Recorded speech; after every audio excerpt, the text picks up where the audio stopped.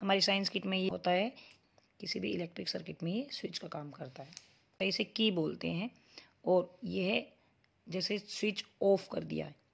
अब हम इसको लगा देते हैं। इट मीन स्विच ऑन हो गया है। अगर यहाँ पर वायर जुड़े होते हैं, बल्ब जुड़ा होता है होती अगर ऐसा रहता तो बल्ब नहीं जलता है। इसको लगा देते हैं तो बल्ब जल जाता है। मीन्स ये स्विच ऑन कर दिया हमने।